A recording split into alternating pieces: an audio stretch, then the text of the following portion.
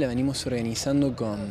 eh, desde la Agencia de Cultura con, la, eh, con miembros de la Cátedra de Videográfica del Departamento de Comunicación de la Universidad de Río Cuarto. Em, implica todo un desafío en primer lugar porque hay que llegar con la convocatoria a la mayor cantidad de puntos en, en nuestro país porque la selección oficial que, compone gran parte de la programación de la muestra está integrada por cortometrajes de, diferentes provincias. No vamos a decir que todas las provincias están representadas, pero hay muchas de ellas que, sí. Hay cortos de, todo el país. El único eh, sí requisito es eh, que nosotros eh, de algún modo propusimos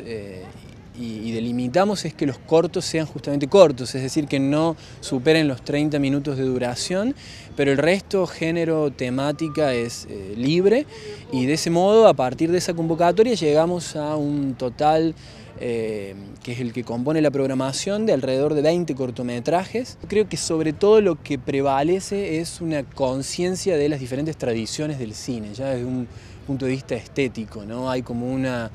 una gran voluntad por inscribirse dentro de una tradición, ya sea para confirmarla o para cuestionarla, pero digo, eh, hay, mucha cinefilia, digo, se nota que los cineastas han visto cine y de algún modo están eh, haciendo películas sabiendo que hay cosas que ya se hicieron y que hay cosas que todavía quizás no, entonces se puede seguir explorando con lo que podríamos llamar el lenguaje del cine y que todavía está, está vivo. La séptima muestra arranca hoy jueves a las 21 horas en la, en la sala del Centro Cultural Leonardo Fabio. Se va a desarrollar hasta el domingo con el añadido de que durante su desarrollo va a haber dos actividades por fuera de esta selección oficial. Por un lado va a haber una sesión mañana viernes a las 15 y a las 17, o sea va a haber dos sesiones, una a las 15 de cortos realizados por escuelas y para escuelas, es decir, los destinatarios de la primera función van a ser, van a ser las escuelas mismas, y a las 17 horas esos mismos cortometrajes realizados por escuelas se van a mostrar ante un público general. Y el sábado y el domingo, paralelamente a las sesiones dedicadas a la selección oficial,